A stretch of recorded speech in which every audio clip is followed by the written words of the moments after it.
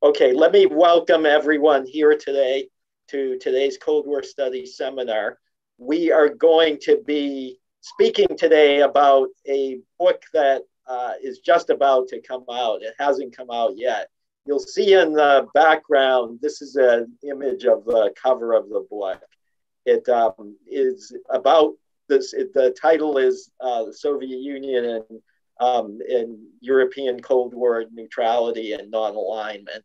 Um, and so the book focuses on neutral countries in your neutral and non-aligned countries in Europe, but doesn't just look at them as neutral and non-aligned countries, but looks at the interactions they had with the Soviet Union during the Cold War. And the idea of the book is also to look at the impact that this had on the wider international system. So there are chapters looking at the role of other external powers, and then chapters looking at uh, each of the neutral non-aligned countries in some depth, and then looking at uh, particularly the Soviet Union's approach to them. And so it, it covers, uh, it's a thick book and covers quite a wide range of topics. There are 24 chapters in the book, and um, it should be, I think, uh, at least for now, the definitive work on Soviet Union's interactions with neutral and non-aligned countries in Europe. The, uh, today's seminar brings together four of the contributors to that book, also the three co-editors. And let me just say the book had its origins in a conference that one of the today's speakers, Aryo Makko, organized in Stockholm in September of 2015. Subsequently, he and uh, Peter Ruggenthaler, another of today's speakers, um, went through and cajoled the contributors, as did I, um, to uh, to revise their chapters in some cases to rewrite them entirely.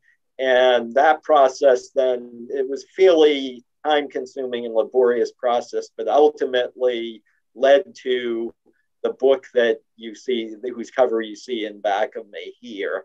And the, uh, we will be doing numerous events this year in connection with the book. Ideally, in the fall, we'll be able to do them in person now that Harvard yesterday announced that it will be that it will be uh, uh, reopening on the 2nd of August. I'm very hopeful that we will do an in-person event in the fall. So today's seminar uh, brings together four of the contributors. They look at, in their particular chapters, Peter Ruggenthaler, who had contributed in an earlier book to the series, um, the Harvard series, Cold War Studies series, had uh, contributed a book on the uh, Stalin's approach. In his chapter in this book, he looks at the post-Stalin period and Austria's interactions with the Soviet Union.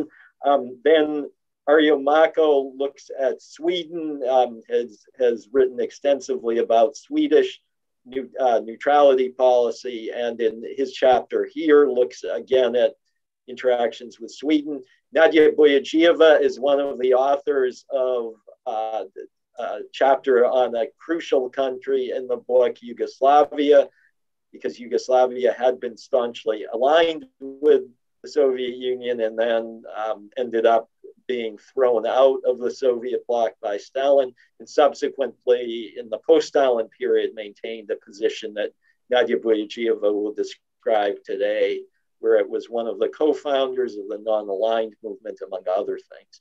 And then uh, I will briefly comment in my chapter. I cover sort of an overview of the book and will discuss in particular Soviet Union's conception of neutrality and non-alignment in Europe and the um, U, uh, US perception as well, because those were somewhat in many ways two sides of the same coin. But uh, that is what one saw about neutrality for particular countries was something that the other viewed with alarm. One favored it, the other uh, would have um, opposed it. So let me turn first to uh, Peter Ruggenthaler, who will be discussing um, his chapter as well as any comments he wants to offer as a, one of the co-editors as about the book as a whole. Please, Peter.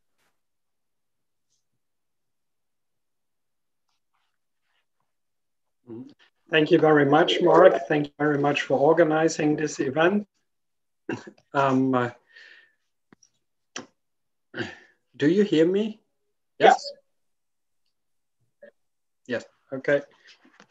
Um, uh, as Mark uh, already said, um, uh, my book on neutrality under Stalin came out a few years ago. Now um, the aim was uh, to focus on the post-Stalin period, um, beginning from 1953, uh, 55 onwards.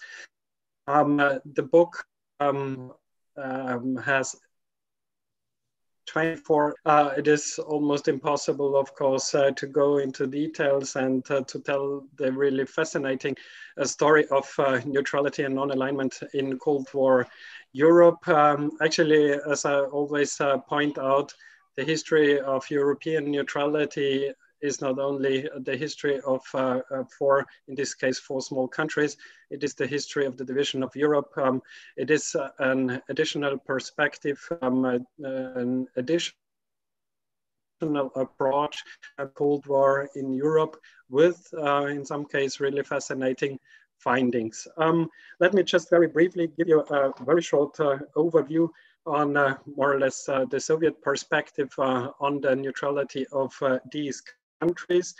Um, as you know, the foreign of Austria, Finland, and Sweden was determined um, uh, during Cold War uh, to differing, uh, differing extents, mainly by the factor of the Soviet Union, of course. Um, uh, well, Switzerland um,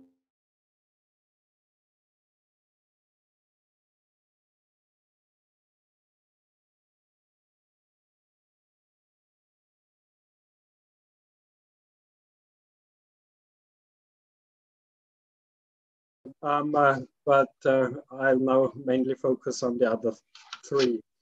Um, while Swedish neutrality was never an official political doctrine, but rather the expression of pragmatic politics since the early 19th century, Finland's and Austria's policies were product came a de facto state doctrine uh, in Austria and then Finland. Um, if uh, Finnish um, endeavors on the way to self-neutralization were shaped by the uh, attempt to minimize Soviet influence as far as possible, the Austrian neutrality of 1955 was a classic product of the Cold War. It was a compromise solution between Austria and the four of the Second World War, aiming to end the Allied occupation of Austria. Neutrality was, in the Austrian case, the price Vienna was prepared to pay in order to end the four-power occupation of the country.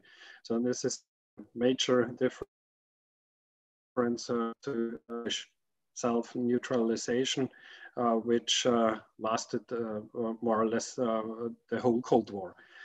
Uh, from the Soviet point of view under Stalin, it was only the consolidation of the division of Germany and the fixing of the German dual statehood in 1952 that laid groundwork for thinking about Austria's future in concrete terms.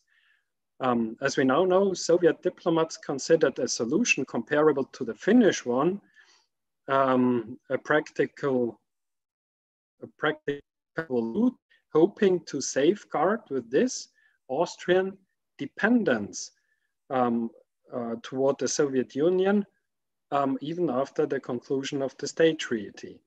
Even if Austrian politicians wanted to take Swiss and Swedish neutrality as a model, the Western powers would not, in any case, have agreed to a Finnish model. Um, the Austrian pledge to Moscow Uh, a permanent neutrality after the conclusion of the state treaty in May 1955 was, as you know, honored on October 26, 1955. the fact that for the Soviet Union and the East Bloc, Austria now also carried the risk of, as I always called it, of a socialist Trojan horse and the strategy of the creation of a neutral zone by the Soviet Union with a subsequent Sovietization was of course registered and as we know now also and see it um, in the Soviet files was um, um, um registered with ancient, ancient in, not only in the Kremlin but also in the West above all in Bonn. But also in Hungary, Austria's neutrality was in many circles as a model of the Austrian State Treaty and the success of the movement of non-alignment countries, as uh, Csaba Békés, one of the authors uh, of this volume, points out in his essay, produced the illusion that some form of neutrality could be achieved even in the East Central European countries. Um, it was uh, Nikita Khrushchev um, who systematically used the neutrals as a means of propagating his policy of peaceful coexistence. It was him who repeatedly extolled Austrian and Swedish neutrality as a model above all NATO countries um, like uh, Denmark or um, uh, Norway to go also the Austrian or uh, Swedish way and Finland as a, something as a showcase uh, for peaceful uh, coexistence. Under Leonid Brezhnev, um, the Soviet Union continued to endeavor um, to win over the neutrals as advocates and mouthpieces for the policy of detente. Um, uh, the example of uh, the CSCE process or of uh, the road to Helsinki is, is the best to give here. Um, um, before uh, the process uh, started in 1969, of course, the suppression of the Prague Spring in August 1968, uh, um, uh, shortly detente, uh, Finland and Austria were shown with uh, painful clarity what being a next door neighbor of the Soviet sphere of influence meant in actual fact. It was the lesson Austria uh, learned from the experience of 1956 Hungary and the Prague Spring, the crackdown of the Prague Spring in 1968. But however, the process led to a steady increase in the status and weight of these both neutral countries, both Finland and Austria, a fusion of bridge builder between the East and the West, um, although Austrians were initially very um, reserved, um, Finnish uh, went ahead. 969 um, was uh, the Finnish president, not the Austrians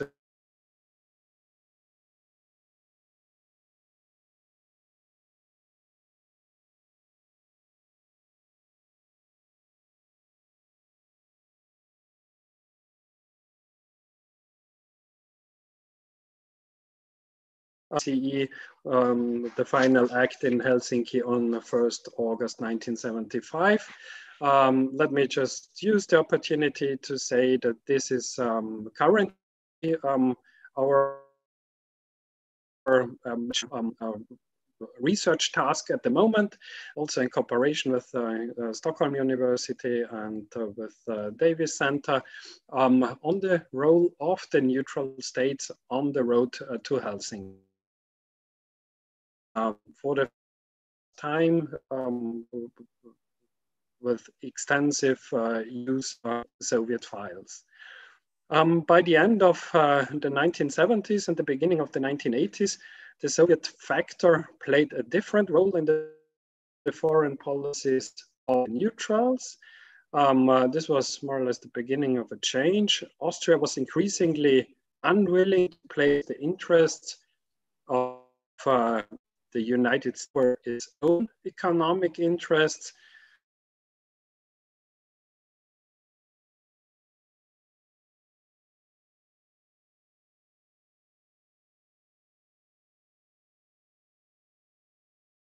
This was an expression of an actual policy of neutrality, similar to Sweden, in spite of a much shorter time span, uh, neutrality had become also an identity establishing factor in Austria, which meant more to the respective populations than a mere foreign policy course of their countries. Switzerland, on the other side, uh, respected the COCOM regime and a more traditional neutrality conception prevailed within parliament. Finland um, had been, of course, most comprehensively undermined by the Soviet Union.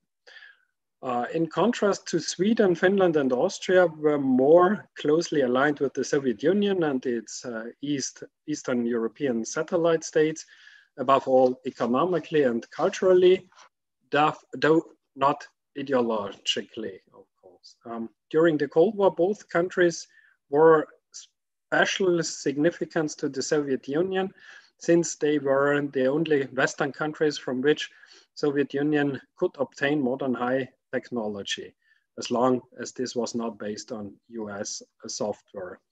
Um, under Gorbachev, um, of course, the situation uh, totally changed. Um, um, in the case of Finland, it was uh, more or less the irony of history that with the end of the Cold War, uh, neutrality was really um, um, accepted by the Soviet Union and Gorbachev. Um, for Austria and Sweden and Finland, it meant, of course, uh, the um, um, um, uh, acceptance uh, to the European Union. Uh, and so this is one major part of the book. Um, uh, the other part of the book, uh, besides the Soviet perception, um, deals with the perspectives of the neutrals, um, in uh, particular with regard to the transformations that took place in the detente years, but also um, uh, another part of the book um, um, gives us new insights into Western perceptions of the neutrals and their relationships with Moscow. Um, we do have uh, chapters on the United States, Great Britain, France, um, um, um, um, um uh, Western Germany.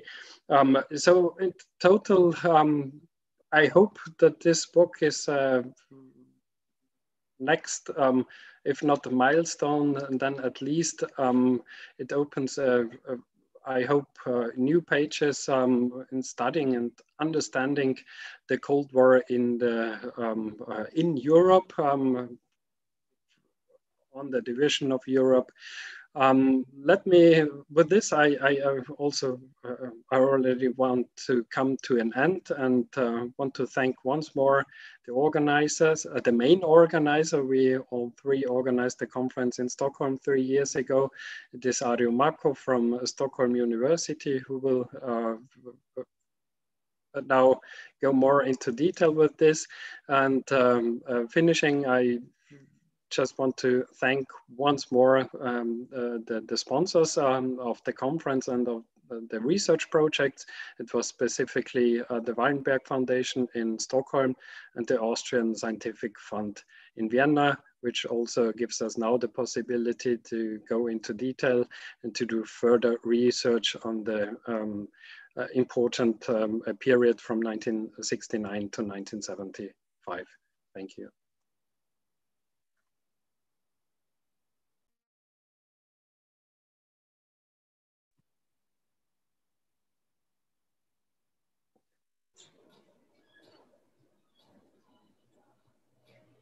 Let me uh, thank you, Peter. Let me turn next to Aryo Makko. I'm very glad he can be here today because he's on his way to Switzerland and is at the airport right now. But he, fortunately, is the timing of the flight is such that he can actually contribute today. And he was um, instrumental in the uh, whole project that led to this book he organized, as I mentioned before, he organized a conference in Stockholm in September 2015.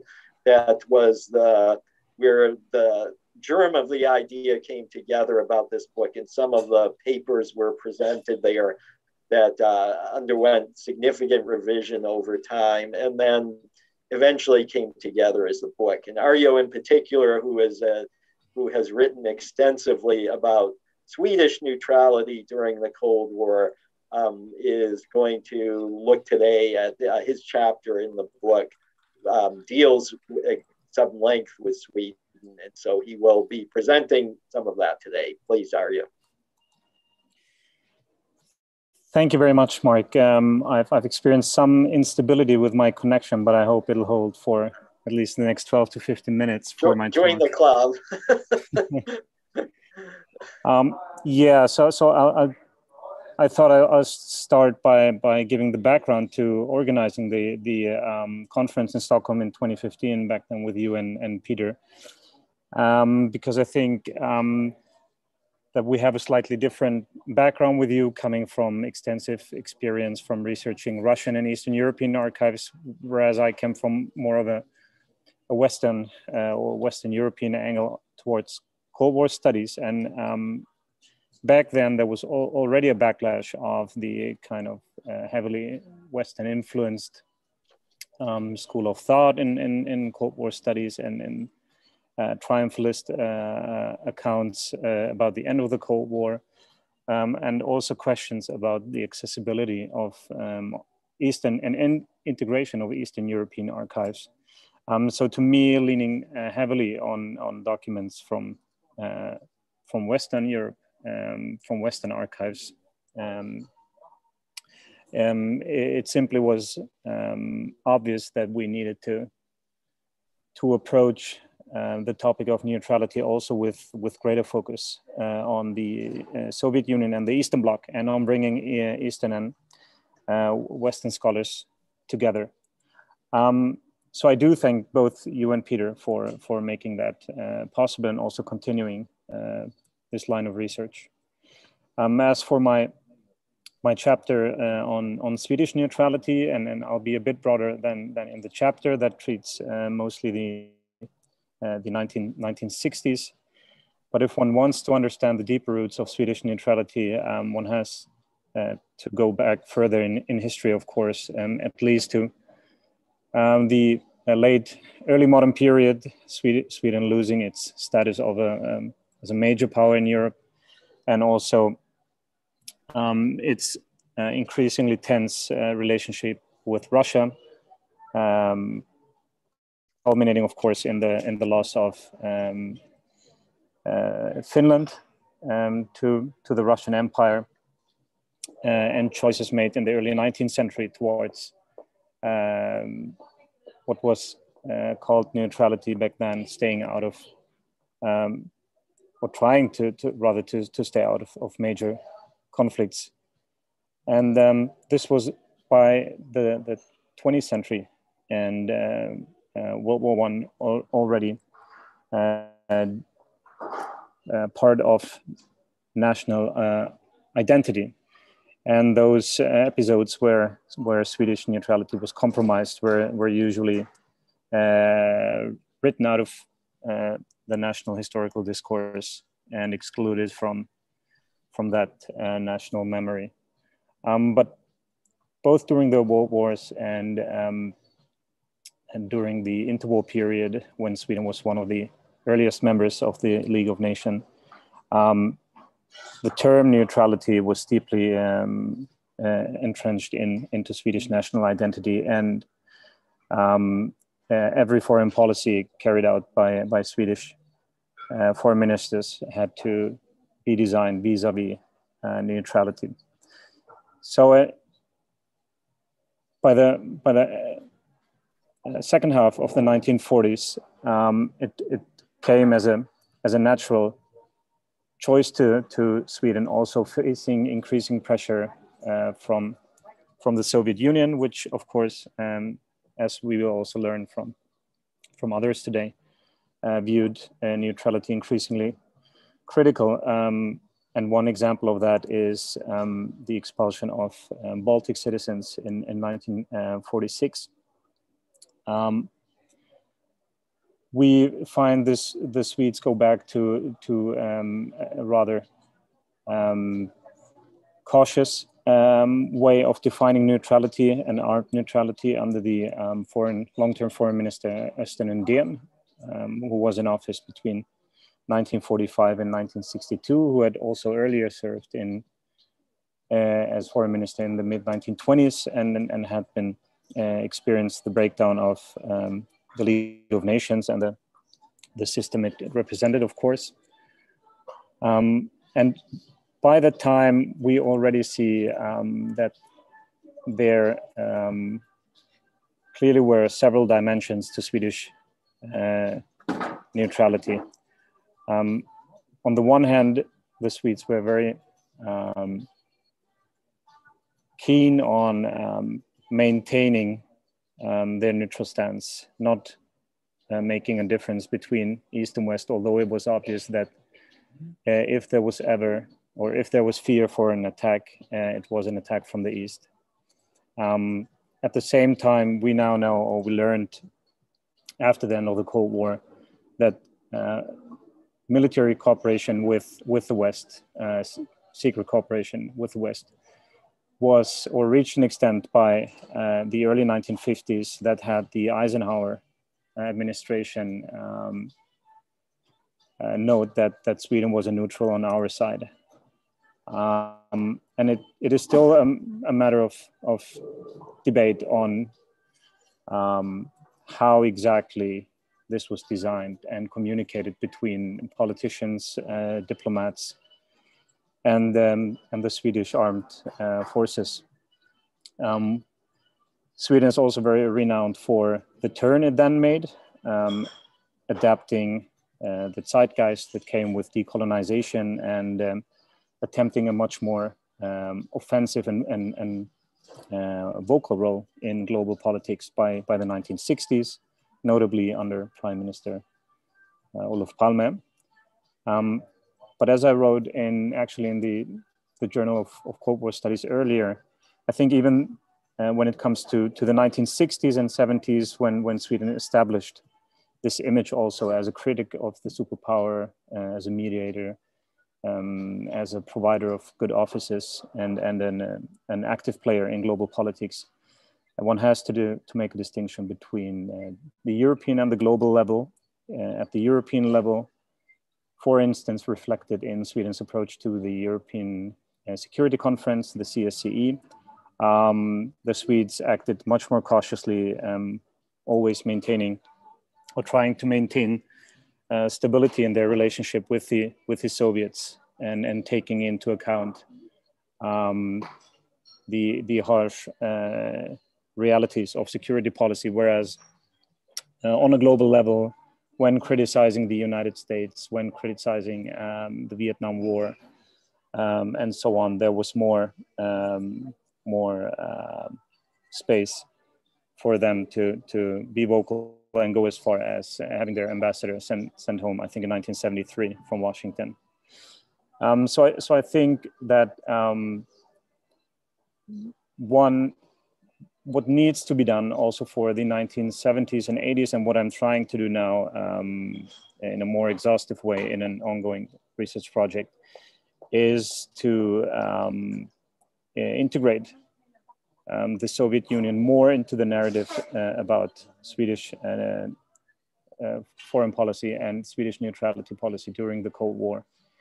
And, um, and the main argument I think um, I would like to make, and it's, it's not only of, uh, it's not only semantic, is that, that one should view Swedish neutrality as a neutrality, or maybe um, that of, of uh, several of the neutrals as a, as a neutrality policy against or in response uh, to the Soviet Union rather than between East and West, as, as uh, many have claimed, or between the, the United States and, and the Soviet Union. I think that the role of the Soviet Union in, in the design and conduct of not only Swedish neutrality policy, but European neutrality, neutrality policy in general is it's um, much more important than, than um, scholars have uh, realized.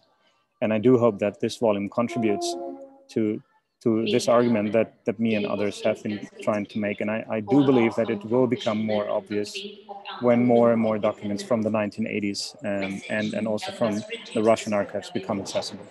And I think I'll, I'll stop there. Thank you.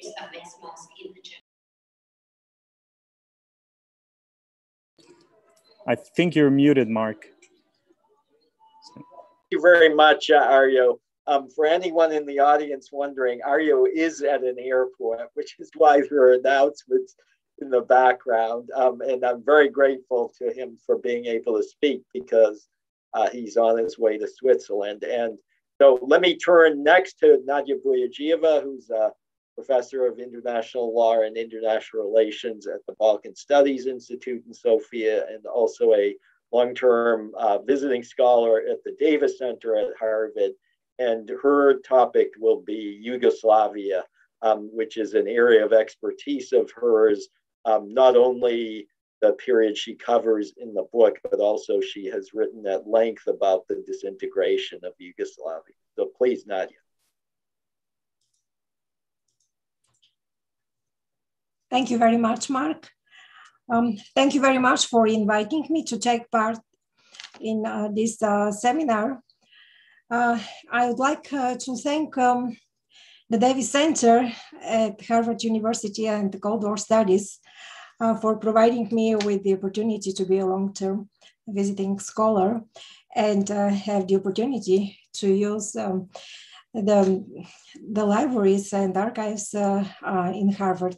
Also, I would like to extend my thanks to, to, the organizers of the conference a few years ago. I was um, uh, I had the pleasure to take part in the conference in uh, uh, Stockholm. Also, I would like, before I start my presentation, uh, I would like to thank uh, my colleagues um, from the Institute for Contemporary History in, uh, in uh, Serbia, in Belgrade, uh, for providing me with um, um, help and um, on, the, on the spot while I was doing my research on the topic being in Belgrade two years ago. Uh, let me start now with um, um, a short um, presentation of my chapter. Um, I would like to say that um, my chapter covers uh, the, the, long period from 1955 to 1980. And during those uh, um, during the 35 years of Josip Broz uh, Tito rule, Yugoslavia played a more important international role than one might uh, have expected um, of a small country. From the mid-1950s on, Yugoslavia maintained a uh, conspicuous position between the Soviet Union and the West, a position that uh, faded after Tito's death in 1980, uh, and especially after Yugoslavia fell into turmoil um, and war from 1989 on. Uh, my chapter analyzes the changing relationship between Yugoslavia and the USSR from the mid 50s when the two countries partly mended the bitter rift that the Soviet leader Joseph Stalin uh, had provoked um, in um, 1948 through 1980 when Tito died. So uh, the chapter picks up um, where um, my colleague from Moscow, Andrei Edemsky, chapter leaves off. Edemsky discusses Soviet Yugoslav ties in the late um, Stalin period and the post-Stalin um, rapprochement in the mid 1950s. My chapter examines how the bilateral relationship evolved in subsequent, uh, subsequent years from the continuing strains in the 1950s and um, 1960s to the smoother relationship in the 1970s.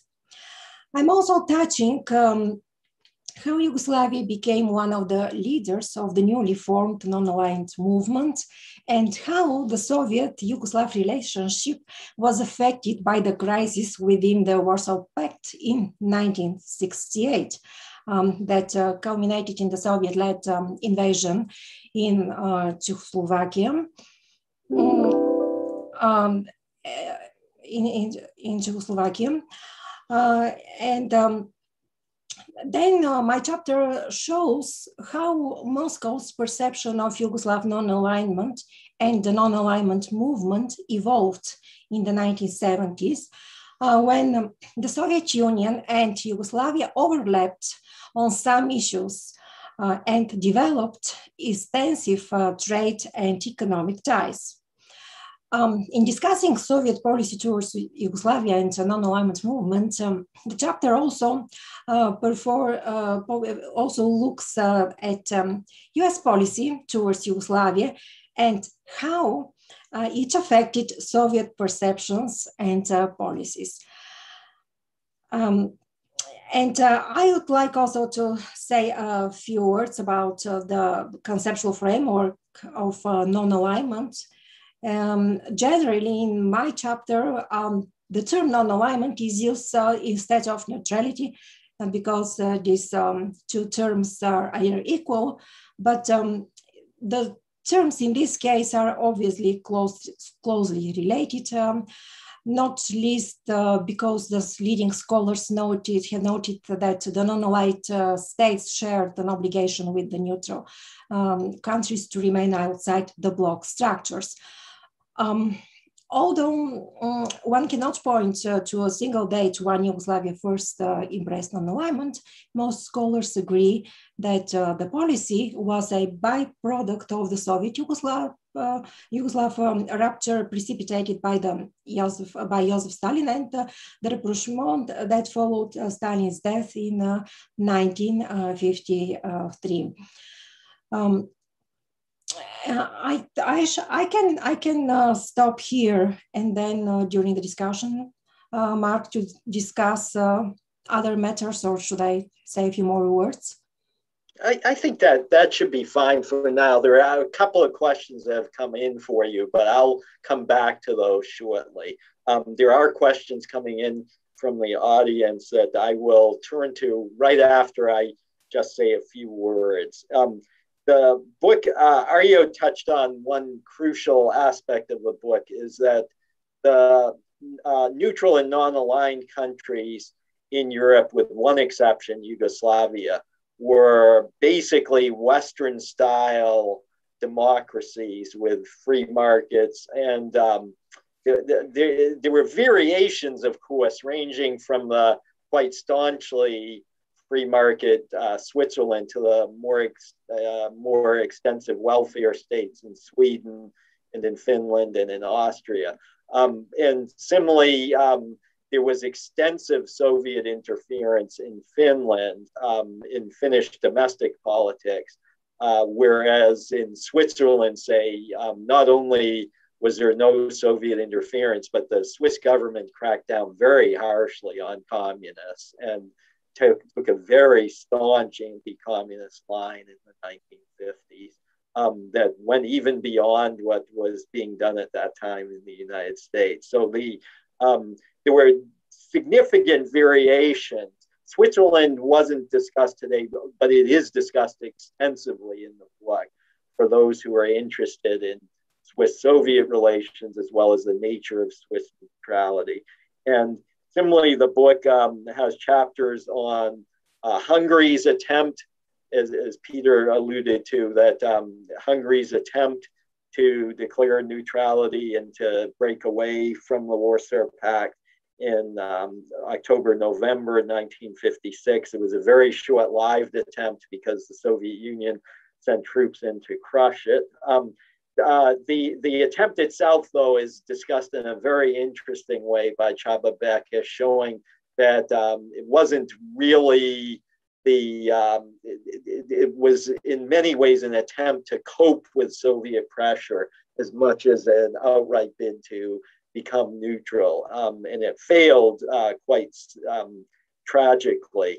But the um, but there was a country, and it is also discussed in the book that did manage to stake itself out as a, a very strange form of non-alignment, nonetheless non-alignment, which was uh, again a communist country, Albania, which had been a founding member of the Warsaw Pact, but then starting in the early 1960s and then formally in 1968 broke away from the war, left the Warsaw Pact, and from then on pursued its own somewhat um, sui generis policy.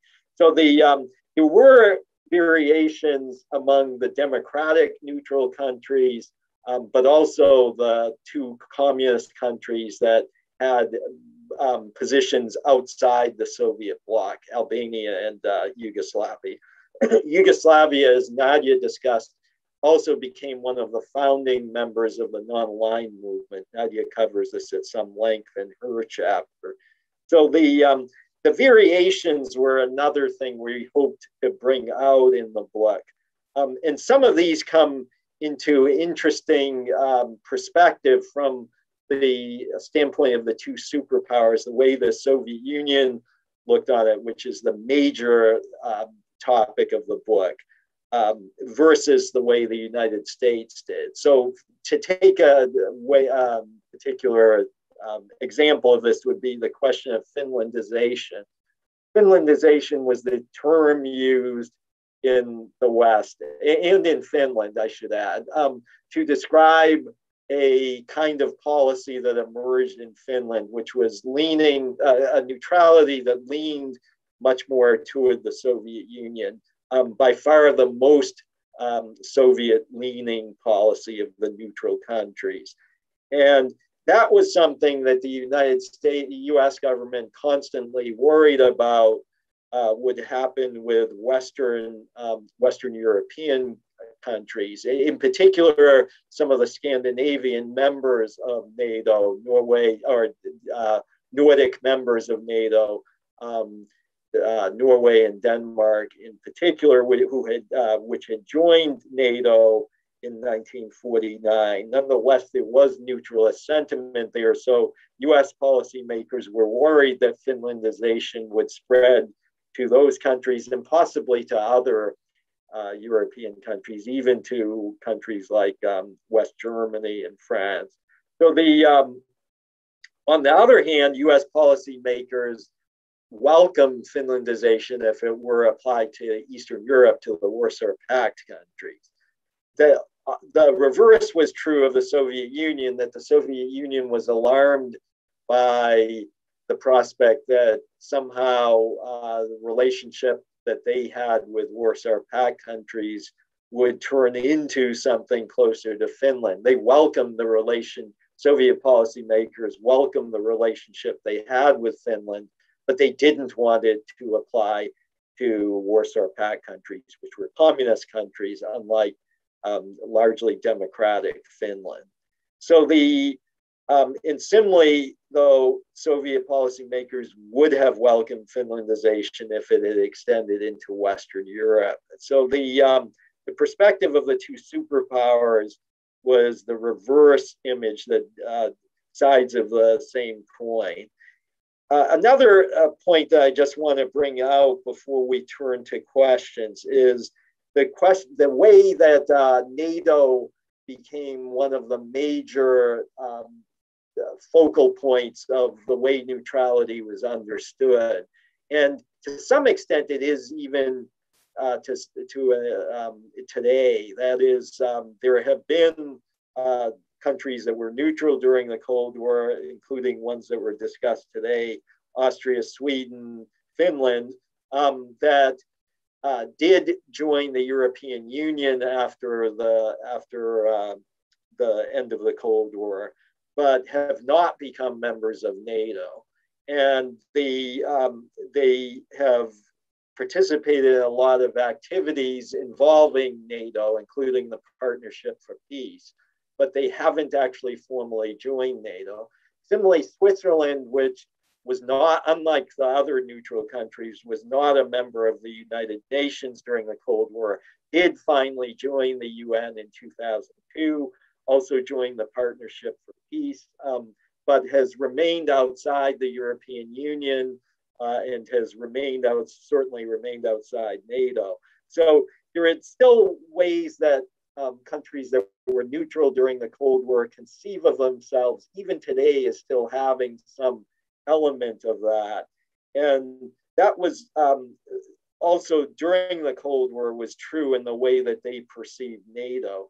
So NATO uh, having established itself with 12 countries at its origin, expanding to 16 uh, by 1982 with the uh, entry of Spain, um, nonetheless still encompassed only a relatively, um, a, a, more or less half of Europe at that point, a um, little bit more than half of Europe. But the uh, in the post Cold War period, NATO has extended to almost all of Europe with the exception of the country, um, the countries I mentioned that have stayed outside NATO, the countries that were neutral during the Cold War, as, some, as well as some of the very small non-aligned countries that aren't discussed at great length in the book, but are um, touched on at least briefly.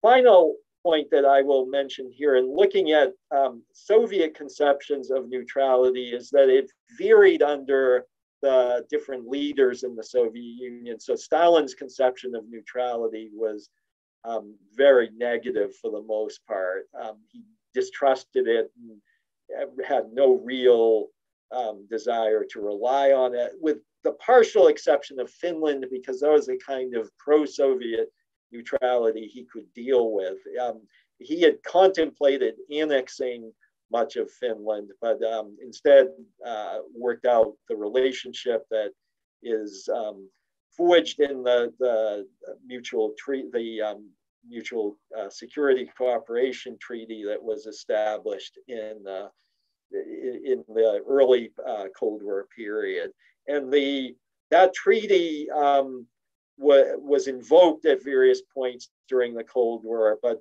that was the type of neutrality that Stalin could deal with. Everything else he was very suspicious of. By contrast, subsequent Soviet leaders, starting with Khrushchev, um, as reflected in the Austrian State Treaty, and then subsequently into the Brezhnev, Leonid Brezhnev era, uh, dealing with leaders like Bruno Kreisky in Austria and Olof Palme in Sweden, became very comfortable in dealing with neutral countries, even countries that were not um, the, of the orientation that Finland was. Um, the only partial exception was that uh, that Soviet leaders um, were always a bit wary of Switzerland, uh, as we now know for good reason. But the um, but still the uh, it worked out under subsequent Soviet leaders a kind of modus vivendi with, with the neutral countries. And that was something that was largely infeasible during the Stalin period. So Soviet perceptions um, fluctuated over time, but uh, by the time though that um, Gorbachev in the late 1980s began to rethink how the Soviet Union should interact with countries in Eastern Europe, neutrality um, abruptly lost its meaning with the demise of uh, communism in Eastern Europe. And so, even though Gorbachev, uh, probably had he been in power earlier, would have been willing to um, work out a much more extensive modus vivendi with the neutral countries, by the time he actually began to think his way through it with his conceptions of a common European home and the stance he took vis-a-vis the Warsaw Pact countries, it suddenly lost its meaning as the whole political structure that had existed in Eastern Europe collapsed. So with that, let me um, let me turn to there are a fair number of questions from the audience. One one of them did deal with uh, Switzerland. Um, let me turn though, there were a couple for, let me, uh, uh, for Nadia, there is one, can you comment on the, um, the impact of the 19, the Soviet invasion of Czechoslovakia in 1968 on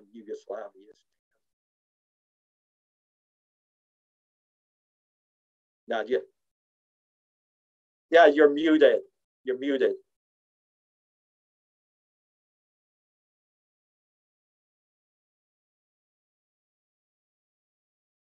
You're you're muted still. Okay. Okay. I apologize. Um. Uh, okay. So um. So what was the question exactly? What was the, the, the impact of the uh, Soviet invasion of Czechoslovakia, Czechoslovakia in August 1968 on uh, Yugoslavia's stance vis-a-vis the Soviet Union? Mm -hmm. Um, uh, thank you for, for this question. Um, actually, this is a very, very important question because um, the Soviet-led invasion uh, of Czechoslovakia uh, dealt a major blow to bilateral relations. And uh, before I start my answer, uh, because uh, I would like to, to say uh, that um, RGANI files, um, this is um, files that are stored in um, Russian, um, Russian state archives for contemporary history in Moscow pertaining to Yugoslavia and the Yugoslav-Soviet relations during the Prague Spring in the August 1968 um, invasion uh, are stored in the fond um, 5 uh, opis uh, 60. And here I'll stop. I won't mention the exact um, numbers of dela or collections that a scholar can find there. Um, but um, I am very uh, grateful to uh, our colleagues and uh, the staff of RGANI Archives for providing opportunity to work um, in maybe last, uh, I've been working for last 15 years there. Uh, let me answer the question now. So this is a very uh, good question and thank you for, for raising it. Um, uh, first of all, it's, it's also part of my chapter. I, I uh, touched upon this uh, question, explaining what exactly happened and explaining what was the reaction from Yugoslavia side and why um, we see that this kind of reaction. So Tito reacted strongly against the invasion, which was also met uh, with um, sharp criticism in various circles in Yugoslavia. Uh, among state um, and party circles, as well uh, as among um, uh, large segments of the population. The invasion uh, characterized, characterized as a violent interference in the internal affairs of an independent state. Um,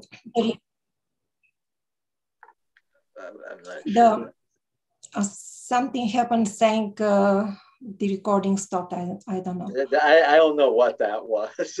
I'm, I'm sorry. So, uh, uh, so the, the reaction uh, in Yugoslavia uh, sparked comments in Moscow and essentially brought relations to a post-Stalin law. That's why uh, this topic is, is very important. So uh, in my view, several factors uh, contribute, contributed to this, uh, uh, these events. Those uh, factors in Yugoslavia prompted this kind of reaction to the invasion in, of Czechoslovakia. In particular, top officials, as well as the wider public in Yugoslavia, feared that um, Soviet military actions could easily pose um, a threat to Yugoslavia's own sovereignty. These concerns, uh, concerns were um, strengthened by uh, Soviet military maneuvers uh, along Yugoslavia coast and uh, the presence of ships uh, from the Soviet Navy in the Mediterranean Sea. Um, the Soviet Union's enunciation of the so-called Brezhnev Doctrine proclaiming not only a right, but uh, a duty to safeguard socialism against all threats, reinforced uh, these uh, fears um, in uh, Yugoslavia um, of a threat. Um, before the Soviet invasion, Tito was welcomed, um, he, sorry, had welcomed the Prague spring, Tito and other Yugoslav leaders were among the most enthusiastic backers of the Prague Spring, in part because they believed uh, the reforms in Czechoslovakia would vindicate Yugoslavia's um, own uh, notion of uh, separate roads to separate roads to so, roads to socialism. Um, when Tito went, uh, let me give you a few examples. When Tito went um, uh, to Moscow in May 1968, he emphasized um, how much Yugoslavia welcomed uh, the events in Czechoslovakia, and he tried to counter the arguments put forth by Soviet officials. Um, later on, in subsequent statements uh, in the summer of 1968, Yugoslav leaders continued to voice a strong support uh, for the um, so-called um, uh, the regeneration in Czechoslovakia, which they argued would uh, make a great contribution to the general consolidation of the so socialist system. They spoke um, just as strongly against the tendency of many Soviet and East European officials to dramatize uh, certain negative phenomena accompanying the transformation uh, in uh, Czechoslovakia, etc., um, etc. Um, Yugoslavia's stance vis-a-vis Czechoslovakia uh, failed to diminish Soviet opposition to the Prague Spring. Um, on the contrary, as um, newly um, declassified documents uh, in RGANI, the Russian State Archive for Contemporary History, reveal Soviet hostility to the reforms increased uh, because of a sense that Yugoslavia was trying to exploit the crisis uh, to create rifts in the world uh, communist movement. Um, Soviet analysis of Yugoslav policies throughout the crisis um, were permitted with a basic mistrust of Tito's goals in Czechoslovakia. Um, when we move further to the, the, to the fall of 1968, uh, uh, and we see um, the, the other uh, the result of the other trip uh, when uh, which Tito took uh, Tito traveled to Prague again on a so-called working visit from 9th to 11th of August 1968 and he was greeted by overflowing crowds. Um, let me say here that uh, a similar welcome was extended to, to the Romanian leader, um, Nicolae Ceausescu, uh, when he visited uh, Czechoslovakia uh, roughly the same time on the 15th and uh, his visit lasted from 15th to 17th of uh, August 1968. Uh, so Czechoslovak leaders tried to downplay the visits, but these efforts failed uh, to diminish the extravagant public displays. Um, so the, uh, the, dominant impression left from both trips of Ceausescu and um, Tito uh, was the spontaneous adulation that the Czechoslovak people had displayed toward two foreign leaders who had successfully defeat, uh, de defied Moscow uh, in the past. Um, of course, the, there are um, other, other factors that contributed to this reaction, but um, um I would uh, like to say that um, the invasion of Czechoslovakia convinced uh, him that the, the danger, uh, the Tito, that the main danger to Yugoslav uh, security stemmed from the Soviet Union, and that the risk of an invasion of Yugoslavia could not be ruled out.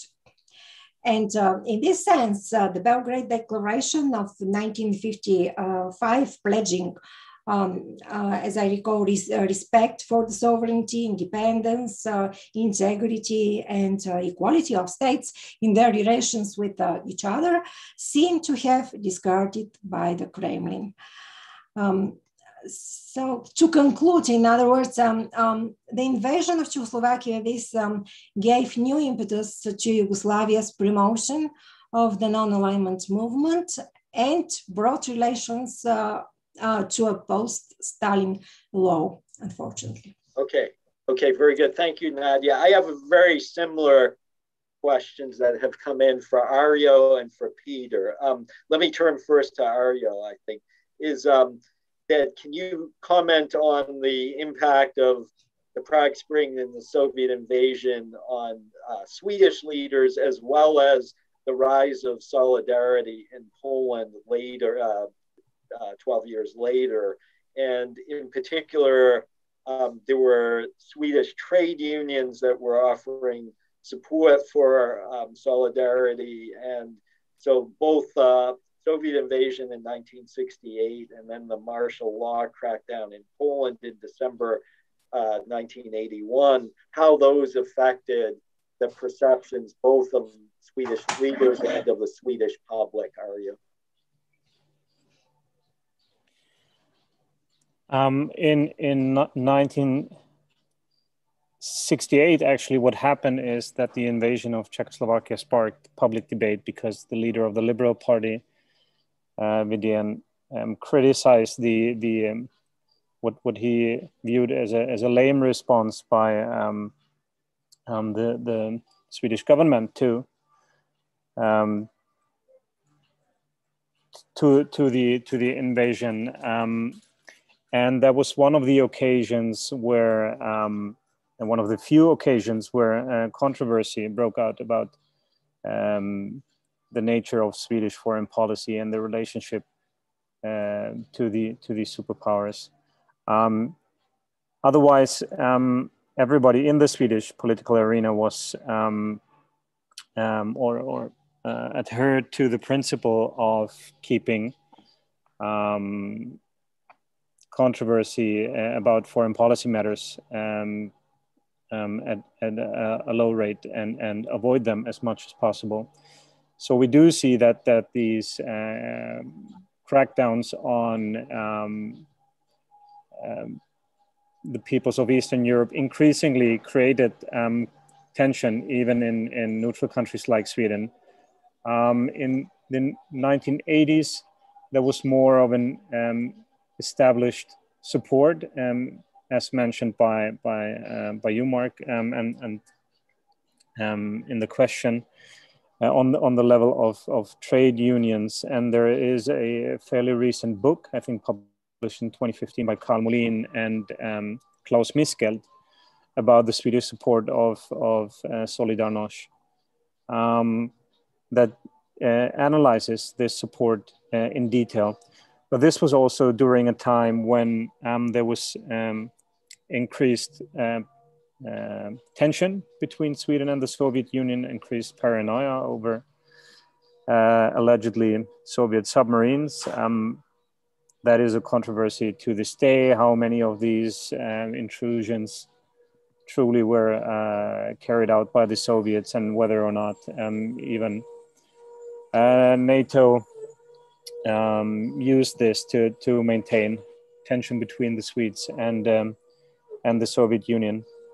Um, so I, I would say in response to the question that um, we do see that um, this was maybe an, an uh, unwelcome side effect of establishing uh, this more active foreign policy, uh, also called the Palme uh, line or the Palme policy, in the 1960s that um, uh, crackdowns on, on the peoples of, of Eastern Europe were, were seen increasingly unacceptable and uh, raised questions and sparked debate uh, in, in Sweden as well. Um, but well into the mid uh, 1980s, and, and despite the uh, the first loss in, in over 40 years of the Social Democrats in 1976 and, and the six years uh, under um, uh, conservative governments, we don't see a major shift um, in uh, Swedish neutrality policy. Um, so I think we, we shouldn't over um, um, overemphasize uh, the the changes as as some have done uh, that occurred in the 1960s, 1970s, and 1980s. Thank you, Th thank you very much, uh. I have a similar question for you, Peter. Um, it deals with the uh, shortly after um, just a year after uh, Austria was established as a neutral country, um, it had to contend with Soviet invasion of neighboring uh, uh, Hungary. And can you comment on the impact of that uh, event and the subsequent flow of refugees into Austria? And then also um, the differing experience of uh, Austria during the Prague Spring and, and in the aftermath of the Soviet invasion. Actually, it was in 1956 um, when it turned out that um, um, Austria would not serve as a model um, uh, for Eastern European countries, uh, but the opposite would be the case. Um, uh, if Khrushchev's uh, and Mikoyan's approach was uh, more or less uh, um, that neutrality in Austria could serve as a fertile ground for socialism in the future. It was um, the opposite was the case. It was um, a dangerous model, um, uh, more or less uh, as Molotov um, um, feared. in 1968, uh, we had a similar situation. Um, at least uh, we do have indications from the Soviet files, uh, from Politburo discussions, um, um that um, um, um, comrades, some comrades warned that uh, Czechoslovakia actually it is not a question of um, reforming uh, the communist state or reforming socialism, communism in Czechoslovakia, but um, um, uh, that um, uh, Czechoslovakia will turn um, into something uh, like as a first step into uh, um, Yugoslavia, and uh, secondly uh, into a model, something um, similar to Austria. So more or less as a possibility, not to, yeah, to leave the Warsaw Pact and take uh, not primarily Austria as an example, but uh, the model of Austria would have been um, um, at the end of uh, such a process. So um, um, um uh, the, the main question in Moscow was how to prevent this and how to prevent um, such outcomes. it was really taken uh, into account and it was taken seriously um, uh, that this uh, Austrian model of neutrality, yeah, directly at the border of the Iron Curtain, um, uh, um, um, is dangerous. Um, on the one side, it was in the interest of the Soviet Union um, uh, to, um, uh, it was, as I always called it, Austrian neutrality was Khrushchev's child. but from the Soviet side, it was, of course, dangerous. 1956, uh, it um, became true uh, in 1968 also. So how could you do it? The only um, real um, approach um, um, who could guarantee that um, Austria was not used uh, mostly by the Western powers as something like creating a model for Hungary or Czechoslovakia um, to leave the Warsaw Pact. So the only way from the Soviet Union was um, to um, establish good relations to neutral Austria, um, to create a model of uh, peaceful coexistence, um, but not to create something like a model of uh, a danger um, directly at the border of uh, um, Czechoslovakia and, and, and Hungary in this case. Okay, very good. Thank you, Peter. Um, did you still have something, please? Yeah, I just wanted to underline once no, but um, uh, uh, these fears, um, uh, we know uh, know some uh, from the Soviet files that these uh, fears really were taken into account into, in the Kremlin, especially you see this uh, in many um, reports of the intelligence services, but not only on the lower level on, of the intelligence services, but uh, that these uh, um, fears uh, really were discussed um, on the level of the Politburo. Very good, thank you. Um, several of the um, several times the topic, uh, the mention of a particular archive in Moscow has come up. RGANI. Let me just mention for those in the audience who are unfamiliar with it, it is an archive that holds the enormous files of the former Communist Party of the Soviet Union from the post-Stalin period. So the um, these include um, records of the departments of the Central Committee, the plenums of the Central Committee, uh, a lot of Politburo files. Um, so the uh, you the good news is, despite Putin's authoritarian crackdown in Russia, is it has not um, had a deleterious effect on RGANI. RGANI has actually improved in accessibility over the last 10 years. And so for those wondering whether you can do good research on this now in Moscow, you absolutely can. That's the basis of a lot of this project was researchers who are making use of those archives um, and uh, the files that are now accessible. So you can um, find you know records that uh, even 10 years ago were inaccessible. They are now, you can gain access to them. So even though it's difficult right now to get to Russia because of the pandemic, um, presumably by the fall, researchers will um, certainly have ready access to the files we've referred to. Okay, let me turn to a couple more. One question came in about Switzerland, which let me, I'll just briefly touch on that. I think I did bring this up in my comments, and maybe it's been addressed to some extent. Um, Switzerland is discussed at length in the book. Um, Switzerland, as I mentioned, was um, our, you know, uh, certainly internally was the most Western of all of the countries. They all were, with the exception of uh, Yugoslavia, they were all Western. Um, even Finland, in, in, most respects, was very much a Western parliamentary democracy. But um, but Switzerland was the most obviously identifiable Western country. Um, and uh, as I mentioned, made no bones about tolerating communists. You know, the Swiss government cracked down very harshly on the small um, communist movement in um, in uh, Switzerland. It also um, tracked very aggressively Soviet and Chinese spies in Switzerland. Of course, there were many of them. So they had extensive uh, intelli- counterintelligence networks designed to uproot them, or at least keep track of them. So the um, there are many ways that Switzerland was uh, a Western country, but it was also in some um, important ways very strictly neutral. It did not, unlike the other countries, it didn't join the UN um, until um, you know 19 years ago in 2002.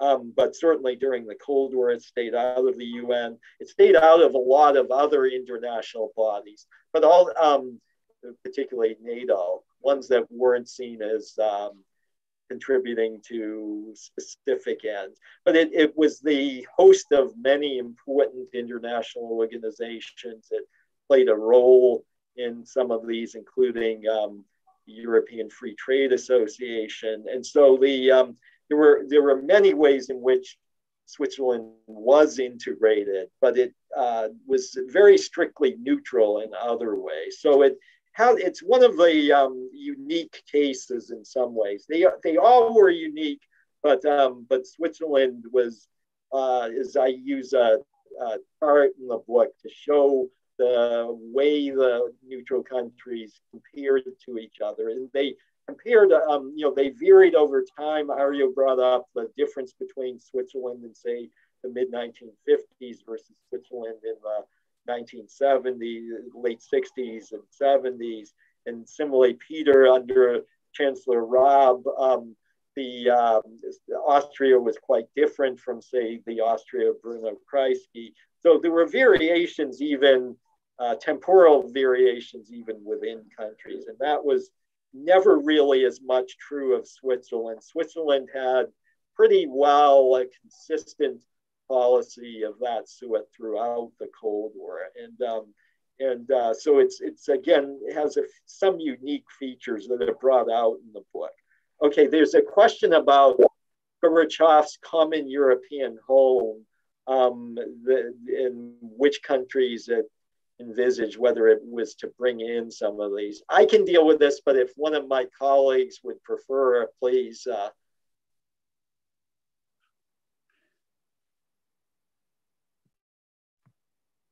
um, please go okay. ahead, Mark. there mean, are many volunteers, so let me quickly. I think we had uh, we had a lot of conferences on this even, and uh, yeah, to answer. It's, uh, let, let me just say that um, Gorbachev's conception of a common European home um, began fairly early and it, it, evolved over time.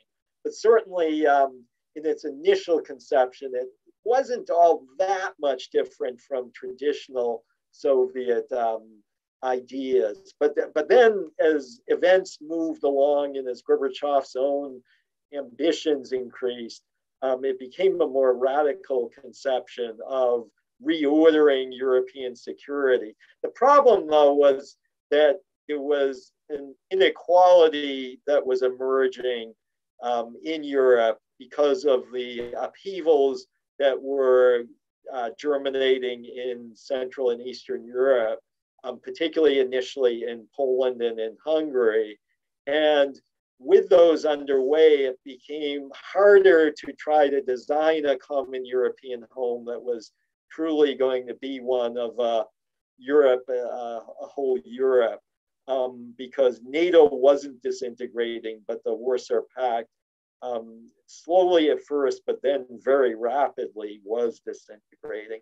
Now, the idea of it, to the extent that it was well elaborated, did envisage um, bringing in neutral countries. Um, Yugoslavia's position was somewhat ambiguous because Yugoslavia was encountering problems already as early as 1988 and certainly by 1989. So the um, that that was somewhat ambiguous, but the others were envisaged. In fact, they were envisaged as models for the common European home. That um, a Europe of Austria's and Sweden's, or a Europe of um, Finland's, even better, um, was something that uh, resonated with Gorbachev's conception of a common European home. But it was a, a conception that was inchoate in many ways and uh, could never be fully developed because events overtook it. Um, so let me uh, just end with that. Okay, there is a question about, um, this is another one for Nadia with regard to the role of uh, Yugoslav relations with the United States and um, particularly in the 1970s under the Nixon administration and how those affected uh, Yugoslavia's relationship with the Soviet Union.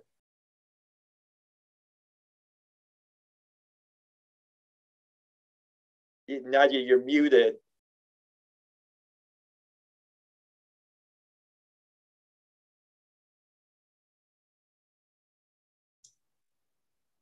Okay, I've unmuted you. Yeah, yeah. Um, yeah, I did unmute myself. Thank you.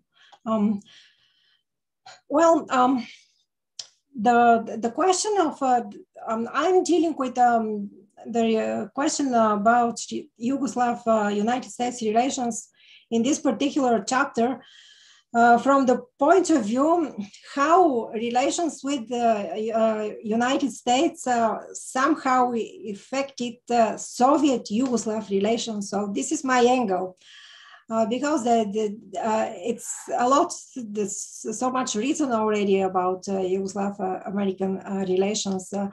but I'm touching this issue from this point of view in my in my chapter, definitely. Um, I think that uh, when we speak about uh, Soviet Yugoslav relations, uh, no matter in early in 50s, 60s, or in, in 70s, um, there, we have to take into account um, um, the US policy and what were the relations between Belgrade and Washington because um, this factor, uh, US policy and US uh, Yugoslav relations were an important factor to be taken into account uh, when discussing Moscow-Belgrade relations. Um, so keeping, um, I would say that uh, keeping relatively good relations with uh, Washington was of high importance for Tito um, after the original split uh, with the Soviet Union in uh, 1948 and thereafter. Uh, US economic ties um, with uh, Yugoslavia were also important uh, for the Yugoslav economy. Um, there were active efforts um, in Yugoslav diplomatic and trade missions in, in, the United States in early 70s uh, the embassy in Washington, uh, Washington, the five uh, consulates in New York, San Francisco, Cleveland, and Pittsburgh, and um, the two uh, chambers of commerce and more than 30 offices of Yugoslav business organization.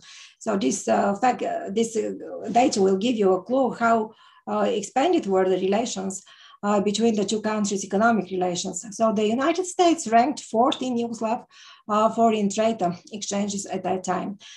Maintaining active um, economic ties between uh, Yugoslavia and the United States was an important condition for the development of uh, good political contacts.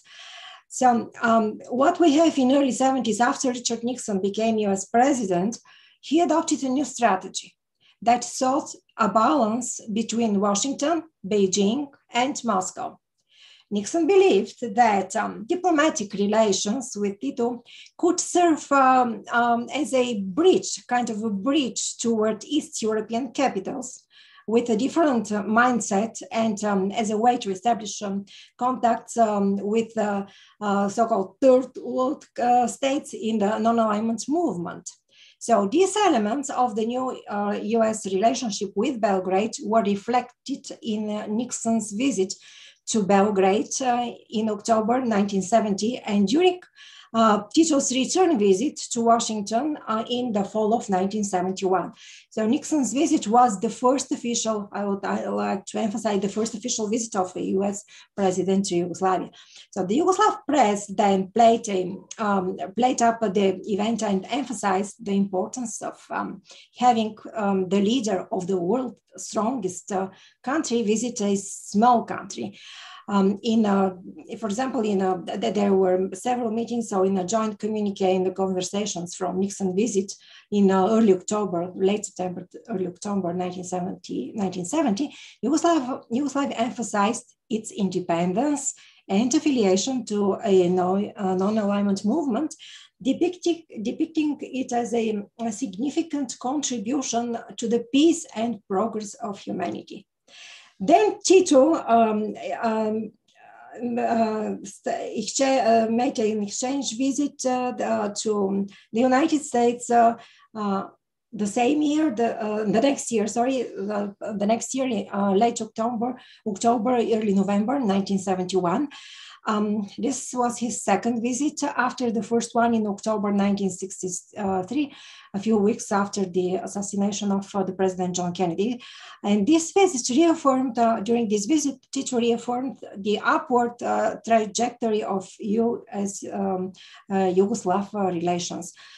Um, he gave then an interview to Yugoslav press uh, in which he underlined Yugoslavia's desire to maintain the existing military balance in Europe. Uh, and uh, also, he opposed the massive withdrawal of US troops from Europe. Um, so, uh, we have a, a lot of uh, information, a lot of, of course, in the, in the documents, uh, um, in documents from um, Belgrade and documents uh, uh, from Washington, and different from different archives on um, um, that on the relations between uh, U.S. and uh, Yugoslavia. Um, of course, Tito's visit to Washington brought uh, economic benefits for Yugoslavia, um, and those economic issues, uh, even those, uh, those, those economic issues, they, they were um, the main purpose uh, of Tito's visit to the United States. He used the opportunity then during those visit, uh, visits uh, to raise um, his fears of the Soviet threat. And this threat from um, Moscow, according to Tito and his aides then, loomed dangerous um, dangerous large uh, during the invasion of Czechoslovakia, and that was likely uh, to persist. So both Tito and others in um, the Yugoslav delegation want possible hostile actions uh, by the USSR at some point in the future. Um, so uh, to conclude, um, the friendly relations between uh, Belgrade and Washington, uh, both political and economic, sparked a unease in Moscow where officials, officials saw uh, the need to mend their own ties to Belgrade. So uh, there were then uh, followed exchanges or simultaneously exchanges from Brezhnev, who visited uh, Belgrade, for example, in September 1971, and uh, economic relations between the two countries. So at that time, in the early 70s, um, Belgrade uh, had uh, was trying to balance, as usual, between Was Washington and Moscow, and I think it did very well. Um, Okay, good. Thank you, Nadia. Um, for P Peter, I have a question for you regarding um, Austria's role in the, there's a question in general about CSCE, but um, and I should add for those unfamiliar with it, it's Conference on Security and Cooperation in Europe. the process that led to the Helsinki Final Act in 1975. Um, can you comment, though, in particular on the role of Austria and other neutral countries in bringing together, um, helping to shape that, that pact?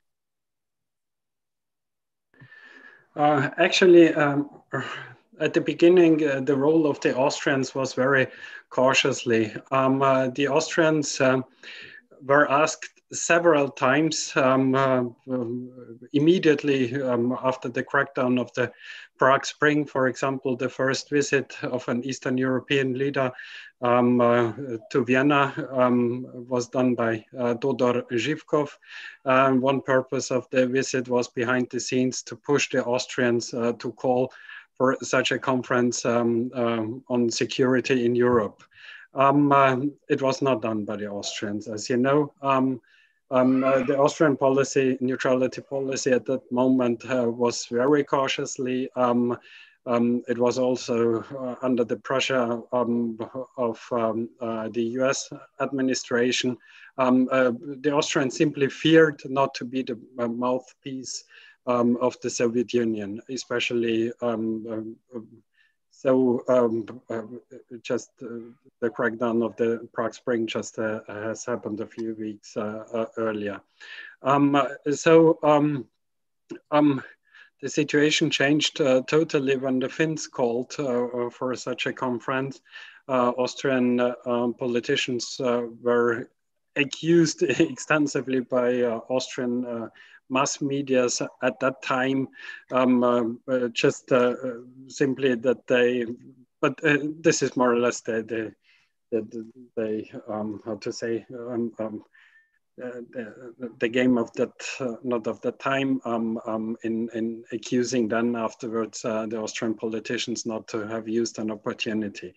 Um Austrians um, very actively uh, engaged in the preparation um, of um, uh, the Helsinki Accords. Um, actually, um, uh, all the details and the road to, to Helsinki um, is now uh, in the focus of our research interest. Uh, we are currently uh, working on such a project uh, together with uh, um, uh, Russian um, institutions, the Russian Academy of Science, and especially the, the Russian archives on that.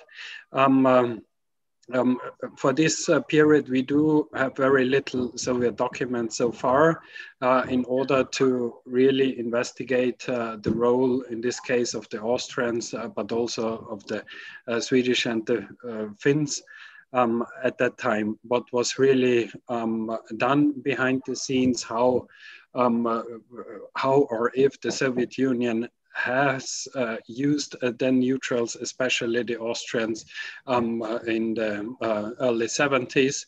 Um, um, yeah, actually, so um, that's uh, for the moment what I can uh, say um, uh, for, for the period until 1975. Much research is done and much is known uh, for the CSCE process, um, so um, um, um, uh, Vienna uh, negotiations and 70s and 80s, but actually a real lack of sources and of research is still um, the road to Helsinki, so the beginning uh, of the 70s. Um, much literature on that is available, of course, on the basis of Western um, um uh, sources. Um, there are really um, good, uh, uh, excellent research done by also one of the authors in our uh, book by Thomas Fischer on neutral power in the CSCE but um, unfortunately, um, Soviet sources so far has have not been yet uh, um, available, and uh, now we try to fulfill uh, the picture. And one question by Daniel Segesser was. Um, um, uh, especially regarding Switzerland, uh, one of the real uh, lacks, one of the gap in, in, in, in research is um, um, related to uh, regarding uh, uh, Swiss Soviet um, um, relations, which is so far exclusively written on Western sources, and very little is known is no. very little is known from Moscow archives. Very good. Thank you, Peter. Um, we are essentially at the end of uh, our, I should add that all of the speakers here today are involved in that project, that, that new project that Peter mentioned about the role of CSCE, the neutral countries in the Soviet Union. Um, that will be progressing over the next uh, couple of years. Um, there is a question which maybe I can squeeze in the last question, which deals with the non-aligned movement. Um, this is for, I guess, for Nadia. Um, that uh, looking at what, did, how did Tito conceive of the, since he was a co-founder of the non-aligned movement, what did he want to get out of it? Um, it didn't really have much to do with Europe. So what was he hoping to get out of it? Um,